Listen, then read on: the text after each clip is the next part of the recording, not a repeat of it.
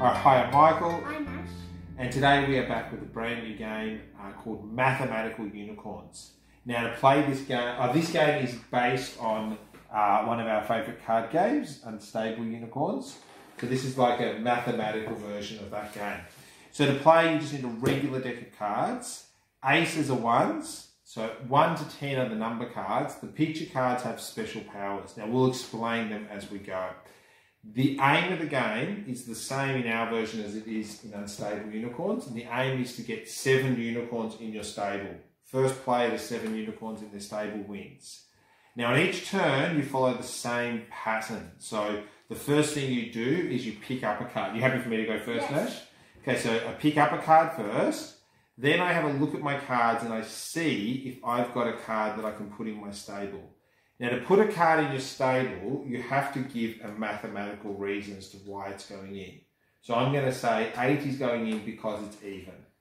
I have got two inputs, even. So Nash has the ability to put one in as well, like to match mine. That's even. And on each turn, the person whose turn it was needs to record what was the reason that they used. So I've already used up even as a reason. I can't use even again. All right, Nash, your turn. So pick up. Four because it's a triangular number. No, not because it's a square number. Okay, I'm going to play nine because it's a square number, and Nashi, you're going to write down square number there. Okay, so my turn. So I pick up again as the start of my turn. Okay, I am going to play six. Now I can't play six as a even number. I'm going to play six because it's a multiple of three. Multiple of three. Three, yeah. All right, excellent. Your turn, Nash.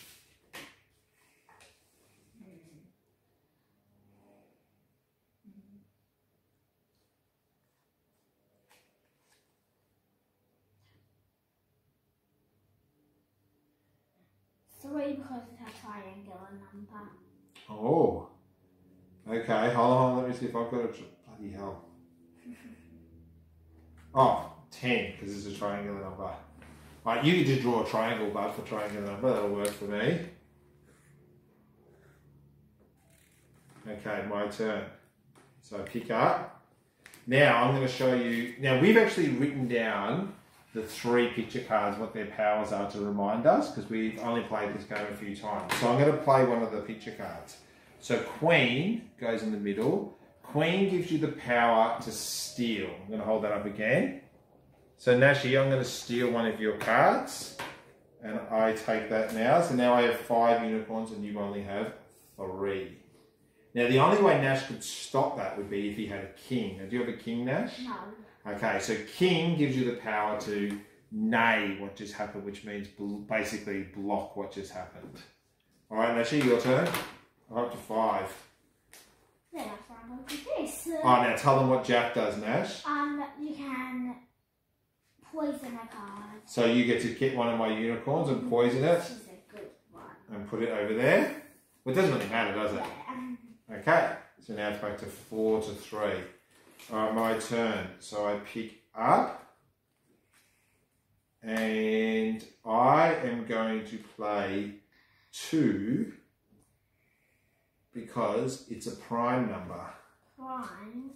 Do you know what that means? No, I forgot. to- So prime is its its only factors are one and itself. Seven. I was going to play seven last time because it was a prime, but I can't remember what the word What the was. word was. That's okay. All right, your turn, Bob.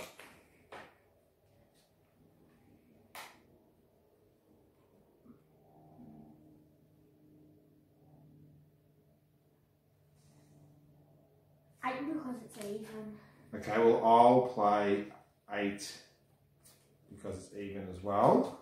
One, two, three, four, five, six. Okay.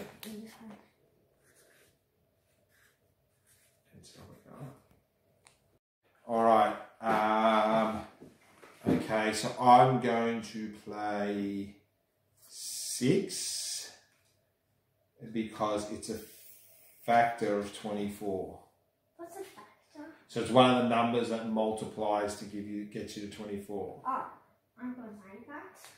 Ah, because I would have won then, wouldn't I? Okay, now that still means I've used up that reason, haven't I? Yeah. So factor of 24. So I've got one, two, three, four, five, six. You've got one, two, three, four, five. You got to be careful, Nash. If you play something and give me a reason here, I'll win. I know.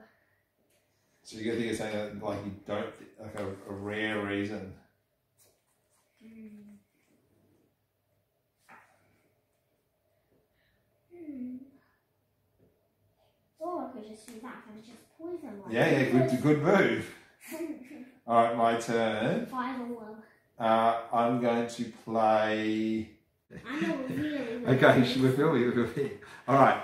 Um, what, what's my reason going to be? I'll just do. I'll play nine because it's odd because I haven't used odd yet. Three because it's on. Odd. Oh, Okay, so we it's six all Nash. Alright, my turn. Yes. So pick up. And I will do seven because it's a multiple of seven.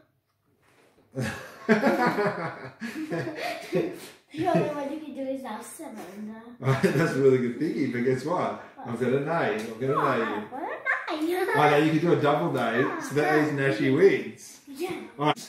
And you can see, like, that even though we've only played this, how many times have we played it? Three times? Once? Yeah, this is our second time. This is our second time. Nash has already worked out some strategy, like he saves seven till the end and uses a multiple seven.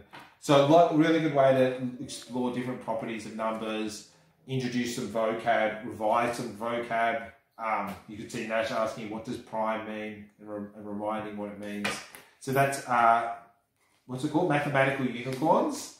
Deck of cards, paper and pen, and just remember the key things. King means nay, Queen means steal, and Jack means poison. I hope you've enjoyed. You can say goodbye. Bye. See ya.